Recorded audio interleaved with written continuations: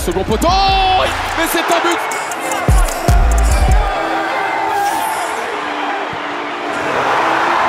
La frappe de loin. Arme de dissuasion massive. Il y a tout pas pour faire un grand match. Deux équipes offensives et surtout cet enjeu énorme.